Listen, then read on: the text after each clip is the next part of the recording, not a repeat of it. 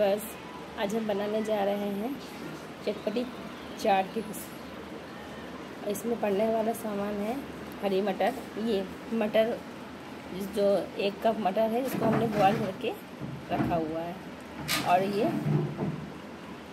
मैदा है। मैदे की कचौड़ी बनाएँगे, इसके साथ में मैदे के खस्ते बनेंगे। और इसका मसाला है, इसमें पिसा हुआ मसाला है। इस मसाले में हमें दो मिर्च, लाल मिर्च और दो चम्मच सूखी धनिया और दो चम्मच, एक चम्मच ज़ीरा और खटाई, आधा चम्मच खटाई। ये मिक्स करके हमने इसको पीस के इसका पेस्ट बना लिया है। अब चलिए देखते हैं इसको कैसे फ्राई करते हैं इस मटर को। इसमें ज़ीरे का पहले तड़का डालेंगे और इसमें ये मटर डाल देंगे।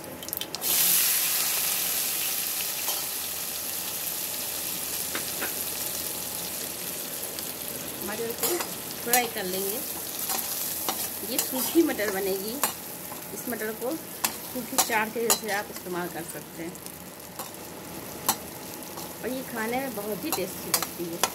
पूरे चाट का फ्लेवर इसमें आता है। और इसमें एक चम्मच इस मटर में एक, एक चम्मच नमक डाला है। और एक ही चम्मच के लगभग मसाला पालेंगे सूखा मसाला जो मैंने पीस के रखा हुआ है, यही सूखा मसाला आप एक चम्मच डालिए। एक चम्मच, डेढ़ चम्मच आप डाल सकते हैं। इससे ज़्यादा भी तीखा हो जाएगा।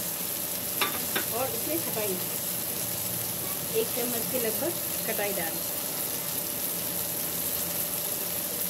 और इसको मिक्स कर देंगे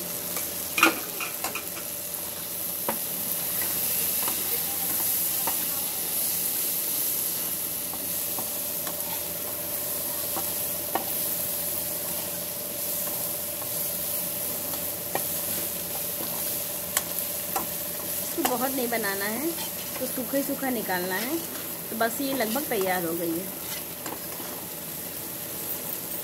ये देखिए, पाँच मिनट के अंदर ये झटपट मटर तैयार हो गई है।